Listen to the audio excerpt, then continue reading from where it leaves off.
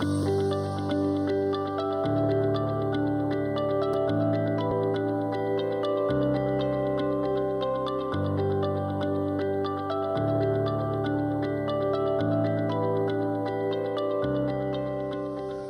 quiero empezar por lo siguiente. Esta es una conversación que debemos tenerla franca, de persona a persona. Yo no quiero entrar a una discusión partidista.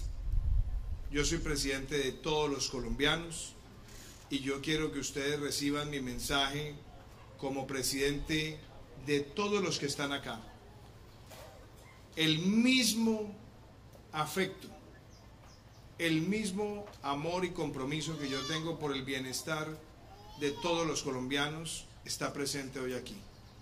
Por eso mi discusión no es partidista, no estoy en antagonismos con ningún partido político. Los partidos políticos tienen su presencia clara a través de las distintas instancias donde tienen representación, sea el Congreso, las asambleas, los consejos. Esos espacios están dados. Yo lo que vengo es hablarles a ustedes como presidente de la República y como su presidente, preocupado por su bienestar. Me alegró mucho llegar hace un rato y, y recorrer la ETCR, saludar tantas personas con sonrisas, con, con genuino sentimiento de, de optimismo de futuro. Yo vi la bebé y me emocioné cuando la saludé, porque de verdad pues, me transmitiste alegría y, y Dios bendiga siempre esta linda criatura. Niña tan linda y es un símbolo de esperanza para nuestro país. Me complació ir a donde están las granjas. Me complació ver las codornices. Me complació entrar al taller de confección, ver el empeño que le están poniendo muchos de ustedes a sus iniciativas. Me hizo muy feliz haber comprado las botas aquí en esta tierra y haber invitado a otros compañeros de gobierno a que lo hicieran, porque es un símbolo que pueda darse en nuestro país una iniciativa productiva y que ojalá todos nos podamos poner estas botas y sentir claramente que hay esperanza en esa decisión valiente que han tomado muchos de ustedes en el camino de la reconciliación. Yo quiero decirle a ustedes lo que dije hace ocho días, hace ocho días, y es esto.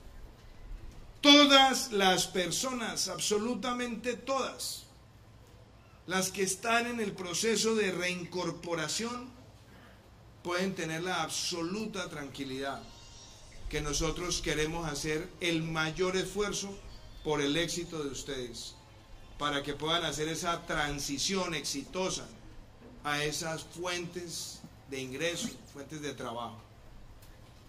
Y no tienen absolutamente nada que temer con respecto a la discusión constitucional, política, democrática, congresional sobre el tema de la ley estatutaria de la JEP a la cual me voy a referir. Mi presencia hoy acá no es por cuenta de las objeciones y del debate que se da en el Congreso. Mi presencia hoy es igual que mi presencia en Pondores. Quería venir a saludarlos, a estrechar sus manos, a conocer sus realidades, a que me expresaran desde el corazón lo que sienten, lo que les, los que les preocupa, lo que les angustia, sus sueños también, como me lo compartieron muchos. Gracias Carolina por esa conversación que tuvimos, la disfruté mucho. Agradecí mucho cómo me iba contando los programas de género y de empoderamiento de la mujer. Le agradecí a varios de sus compañeros hoy que me fueron explicando cómo cada actividad va trayendo retos, pero vi una esperanza grandísima cuando me estaban diciendo la comercialización de los huevos de codorniz. Yo vengo hoy acá a hablarles de, de ese país que tenemos que construir juntos, que debemos construir juntos, que podemos construir juntos y que estamos llamados a construir juntos. ¿Y cuál es ese país? Es el país que de una vez por todas rechaza la violencia, rechaza la criminalidad. Y lo que ustedes están haciendo de dar ese paso adelante, pueden tener la certeza que estamos acá empeñados en que ese paso sea un paso exitoso. Yo quiero también agradecerle aquí la presencia de nuestros generales, nuestros coroneles que han estado acompañando la seguridad de la ETCR, que también es un gran símbolo de lo que es, de lo que es Colombia cuando damos estos pasos hacia adelante. Y quiero decirles esto, nosotros llevamos ocho meses en la presidencia de la República, nuestro gobierno ya ocho meses. Es difícil uno corregir tantos errores de años en, Colombia, pero tenemos todas las ganas de hacerlo y hacerlo por el bien del país y de buscar trabajar juntos. Cuando nosotros empezamos en agosto, el gobierno, nos encontramos con que los recursos de alimentación y salud para las ETCRs expiraban en diciembre. ¿Cuál fue la decisión nuestra? No, señor, hay que extender este cubrimiento. Y se ha extendido. Dos, yo le pedí a Naciones Unidas, queremos que nos acompañen ustedes, como lo han hecho con independencia, para monitorear y hacer seguimiento al deseo genuino de este gobierno de ayudarles a ustedes a salir adelante en el proceso de reincorporación. Que nos aplaudan lo que es de aplaudir y que nos cuestionen lo que es de cuestionar, pero que nos acompañen a ser exitosos. Y ahí vienen dos noticias que son importantes relevar. La primera, en agosto teníamos, después de 18 meses, desde el momento de la firma de los acuerdos, teníamos dos proyectos productivos aprobados. Hoy, con el apoyo del doctor Emilio Archila, el alto consejero presidencial para la estabilización, 21. Deben ser más, claro que tienen que ser más y claro que queremos que sean más. Pero se ve un avance que no se puede negar en los hechos y que demuestra voluntad genuina de hacerlo y hacerlo bien. Cuando llegamos teníamos apenas dos planes de desarrollo con enfoque territorial. Hoy tenemos 16. Hemos concertado 14 planes en el territorio, en las comunidades. Que debemos avanzar más rápido. Ustedes tienen razón. Es que ustedes firmaron ese acuerdo en diciembre del 2016 y muchas cosas quizás estaban previstas para empezar con una gran velocidad. No podemos devolver ese tiempo, pero lo que sí les puedo decir es que desde el 7 de agosto queremos que las cosas sean distintas y sean mejores. Y no es para criticar a nadie, porque yo no estoy en antagonismo con los gobiernos anteriores. Yo lo que quiero es que lo que nos corresponde a nosotros lo hagamos bien por ustedes y por sus familias. Y es en ese sentido donde también quiero resaltar que el enfoque que nosotros queremos es que a partir de agosto no haya incertidumbre. Y es lo que yo le he dicho al doctor Archila, doctor Archila, sí, si bien la figura jurídica está llamada a expirar en agosto, tenemos que buscar que se mantenga el sentido de organización, de comunidad, de proyectos y que los proyectos le generen las fuentes de ingreso para que ustedes puedan tener esa sostenibilidad de sus familias y al mismo tiempo hacer esa transición bien hecha. Entonces, ese mensaje está ahí. ¿Qué quiero también resaltar? Lo que tiene que ver con el plan de desarrollo. Que el plan de desarrollo no es de Duque. El plan de desarrollo es de Colombia. El plan de desarrollo está discutiendo en el Congreso. Y ojalá con un aporte de todos los partidos políticos, que todos los partidos lo enriquezcan para que sentamos la representación de nuestras ideas allí. Y ahí hemos buscado 37 billones de pesos para todo lo que tiene que ver con estos procesos de transformación en los territorios. Y adicional a eso, estamos hablando de la transversalidad, de cómo queremos que los recursos lleguen en distintos frentes. Y ahí yo quiero hablar de algunas preguntas que ustedes me plantearon, que me llegaron al corazón. Una pregunta, buena pregunta.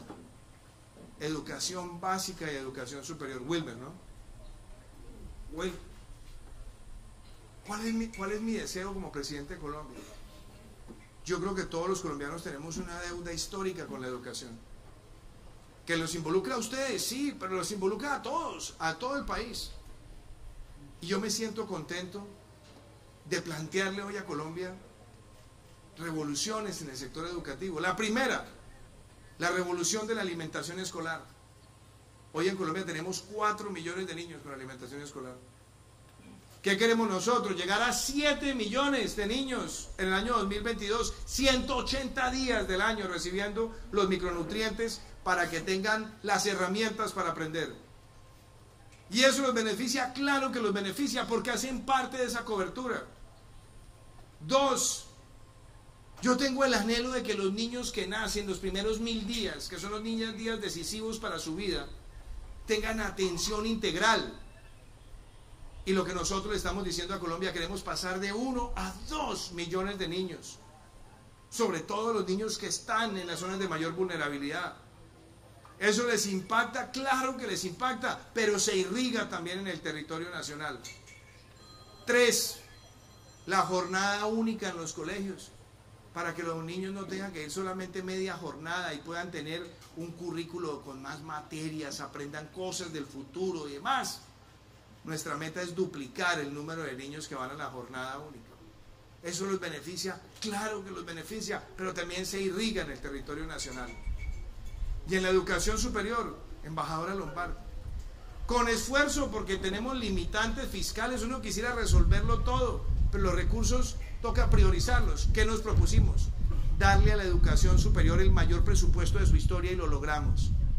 Este año empieza y queremos que 336 mil estudiantes de familias de bajos recursos tengan educación universitaria pública gratuita. Este semestre van a empezar los primeros 45 mil. Ya estamos avanzando en ese sentido. ¿Que eso los beneficia? Claro que los beneficia, pero también se irriga en el territorio nacional.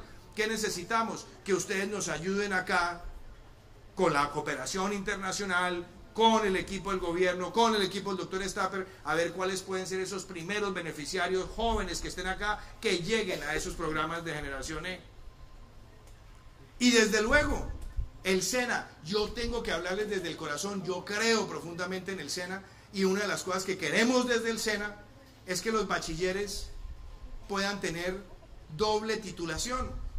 Nuestra meta para el año 2022 es que haya 600 mil o 650 mil, me dijo Carlos Mario esta mañana, estudiantes que se gradúen y en una mano tengan su diploma de bachiller y en la otra el diploma de técnico del SENA formados para el empleo.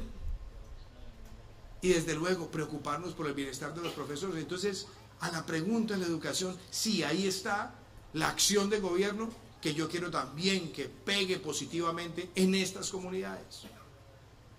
Y ahí tenemos que trabajar juntos, sí, con los alcaldes, doctor Emilio, pero que esa cobertura de los programas de gobierno se sienta también en estas comunidades. Ahora, me plantearon una cosa muy interesante. Me preguntaron por los proyectos productivos. ¿Qué necesitan los proyectos productivos? No nos digamos mentiras, un proyecto productivo funciona cuando uno tiene quien le compre. Y cuando uno tenga quien le compre, ojalá con algo de certeza en el tiempo. Por eso yo les preguntaba a los amigos de la granja aquí, y le preguntaba a los amigos de las codornices, ¿cómo están vendiendo? no, ya me están comprando un supermercado en Barranquilla. Entonces les dije yo al doctor Archila, el programa que lanzamos con el Ministerio de Agricultura, de Agricultura por contrato, es un programa que le sirve a todos los esquemas productivos que tenemos acá. ¿Por qué? Porque pueden vender, les compra un mayorista sin intermediario, con un contrato a, término fijo, con una producción, y eso les permite a ustedes ir creciendo. Fui al taller de la confección y el modelo también sirve. Claro, ¿qué se necesita? Y me lo decían ustedes. Hombre, necesitamos es quien nos haga las órdenes y quien nos compre las botas y quien nos compre las camisas y los uniformes. La responsabilidad nuestra es ayudarlos a encontrar esos compradores y me voy con esa tarea. Y espero, doctor Emilio, que pongamos esto como prioridad nuestra para responderle aquí a la comunidad y decirle, mire, vamos a entregar estos proyectos, estos compradores que les ayudan a ustedes a tener esa sostenibilidad. Pero hablemos también de otros temas que son importantes. Plantean ustedes la vivienda. Me parece bien el nombre, Ciudadelas de Paz. Lindo nombre.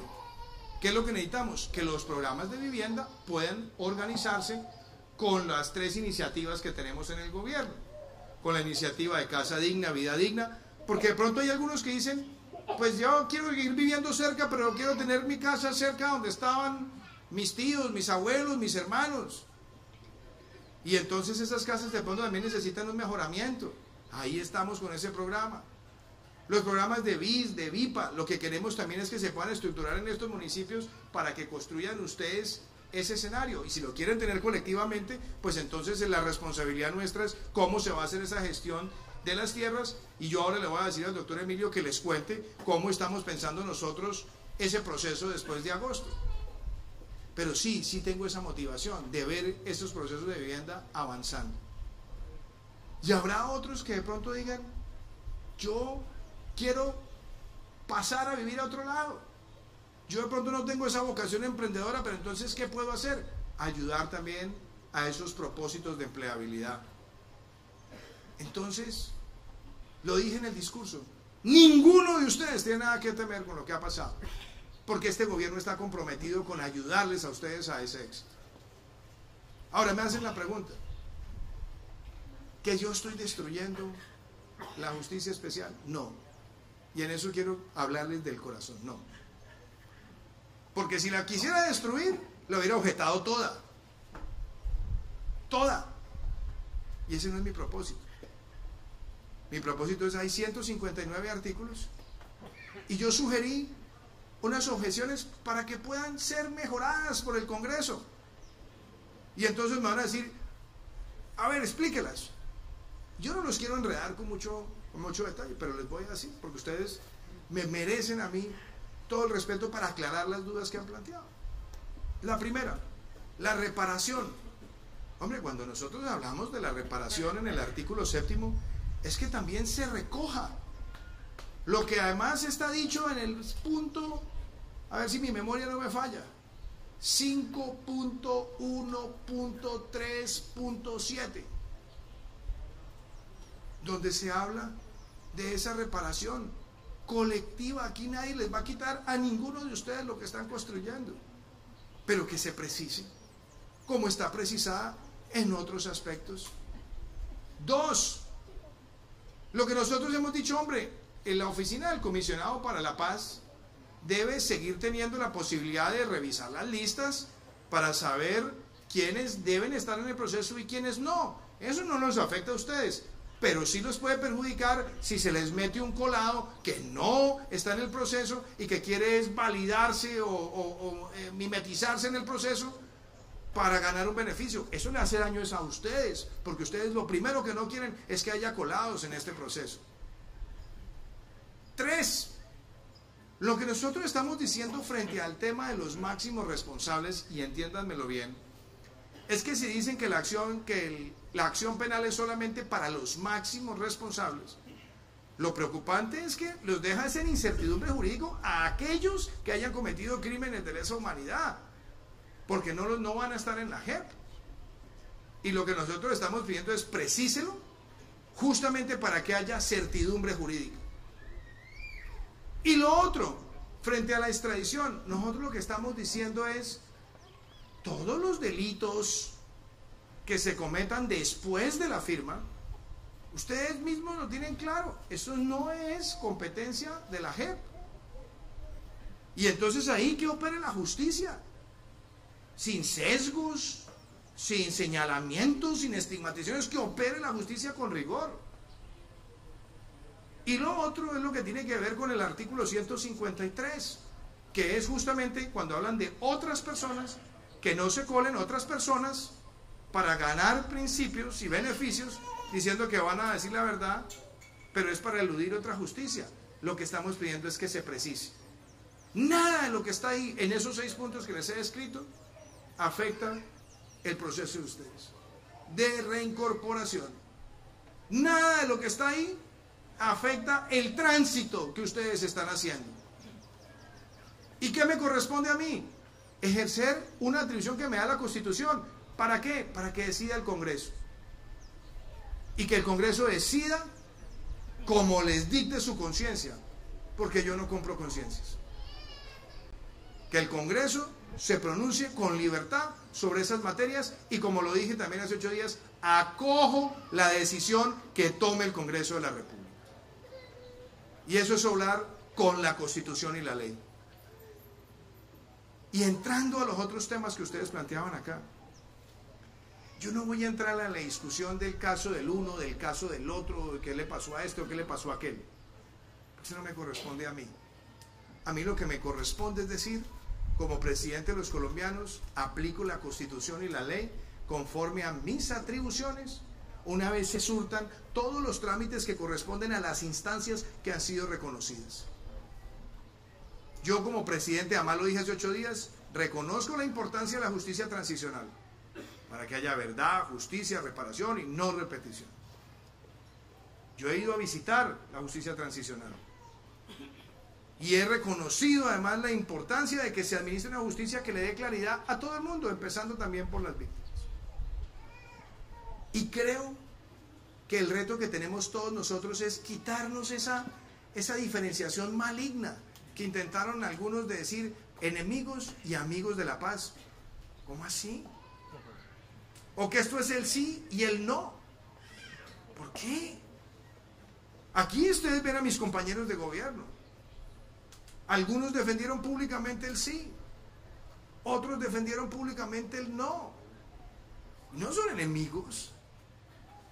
Y no están enfrentados. Hoy trabajan conmigo para sacar adelante este país y para hablarles con sinceridad como les estamos hablando hoy. Eso es lo que importa. Vamos a seguir manteniendo una división absurda en el país. No. Yo lo que quiero es que ustedes reciban de parte mía con mi visita el mismo afecto que sienten todos los colombianos y que espero transmitir a los colombianos cuando hago los talleres construyendo país. Para escuchar. Que hay necesidades, sí, apreciada concejal, claro que hay necesidades y yo quisiera poderlas resolver todas. No las puedo resolver todas pero sí tengo la voluntad de buscar soluciones y por eso me he sentado con el gobernador Ovalle y me he sentado con Tuto Guía y me he sentado con los alcaldes y las alcaldesas a ver cómo priorizamos, cómo conseguimos un recurso, la cooperación internacional, una cosa o la otra. Mi mensaje para ustedes es que aquí estamos con afecto a responder. Ustedes se han quejado de muchas de las condiciones habitacionales. ¿Qué les puedo decir? Que tienen razón. Ahora, ¿Hace cuánto están en esas condiciones? A ustedes dijeron primero que iban a estar seis meses y ya van para más de dos años. Entonces hemos tratado en la medida de lo posible con el doctor Stapper ver cómo vamos mejorando mientras se van cerrando esos capítulos y al mismo tiempo pensando en qué viene después de agosto, dónde podemos seguir teniendo espacios de proyectos productivos colectivos y garantizar la protección. Y frente a lo que aquí se ha dicho los líderes sociales, claro que me duele lo que le pasa a un líder social, pero me duele como me duele igual lo que le pasa a cualquier colombiano. Porque la labor cuando uno es presidente es cuidar cada lugar del territorio y cada vida como si fueran los propios hijos de uno. En eso no hay distinción. ¿Qué hemos tenido que ver? Sí, asesinatos de líderes sociales. Cuando empezó nuestro gobierno teníamos más de 200. Hemos tratado de bajar esas tendencias y bajar la tendencia de homicidios en el país y nos dimos cuenta que muchos homicidios se estaban presentando en zonas donde había un crecimiento vertiginoso de la coca y presencia del narcotráfico. Y lanzamos un programa donde hicimos claro quiénes eran algunos de los asesinos de líderes sociales y ya hemos ido capturando a muchos de los que han estado detrás de esas organizaciones. Pero necesitamos todos colectivamente poder denunciar y actuar y aquí estoy y estaré siempre entregando mi vida por proteger la vida de los colombianos. Jamás, jamás patrocinaré ningún viso de ilegalidad en este país.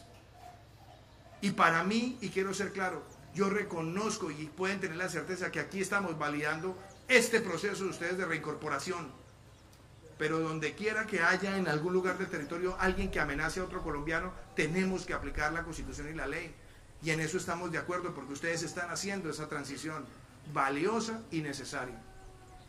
Entonces mi mensaje, apreciados amigos, es que estar hoy acá para mí es mucho más que una visita. Esto no es un acto de formalidad ni de protocolo.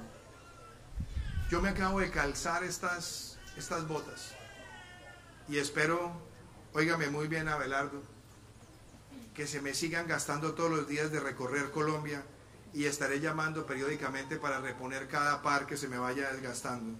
Y puedes saber que aquí me va a tener a mí de, haciendo de comercializador de estas botas. Ya hoy, ya hoy ya logramos que aquí los compañeros compraran algunas. ¿Ah? Entonces, quiero decírselos de corazón y de afecto. Me alegró mucho haber recibido ahora, haber comprado unos pan de quesos aquí, que también muestran lo que ustedes están haciendo con amor. Miren, yo se los digo de corazón, yo valoro el esfuerzo que ustedes están haciendo como el que más. Y entiendo sus angustias y sus preocupaciones. Pero una cosa pueden tener con claridad. No hay un honor más grande que ser presidente de Colombia. Y como presidente de Colombia lo que más me motiva es el éxito de todo el país y de cada ciudadano. Ustedes pueden tener la certeza que conmigo no hay agendas veladas, que yo miro a los ojos y yo respondo y yo pongo la cara. Hoy estoy acá hablándoles a ustedes en momentos que ustedes dicen que son difíciles. Yo respeto las palabras que dijo Abelardo, pero yo soy optimista, Abelardo. Y yo soy optimista, ¿sabe por qué? porque veo caras de reincorporación, pero sobre todo de reconciliación. Veo caras de esperanza, veo testimonios de esperanza. Nuestra meta es hacerlo mejor todos los días. Nuestra meta es que de aquí al mes de agosto lo hagamos bien, con éxito, que vayamos, doctor Archila, planeando muy bien esa jornada que sigue, que sigamos contando con el apoyo de Naciones Unidas para hacerlo bien en estos proyectos productivos, que encontremos los compradores, que la Unión Europea nos ayude también a que esos productos se puedan comprar. Embajadores, de pronto aparecen compradores de estas botas allá en España, o en Bélgica, o en Francia, o en Alemania. Eso es lo que nosotros tenemos que hacer. Quiero decirles de corazón, ahora vamos a compartir un rato de, almuerzo y de hablar de los temas personales. De verdad, aquí no tienen a un antagonista de un partido político. Aquí tienen a su presidente y al presidente de todos los colombianos que quiere lo mejor por este país. Dios me los bendiga.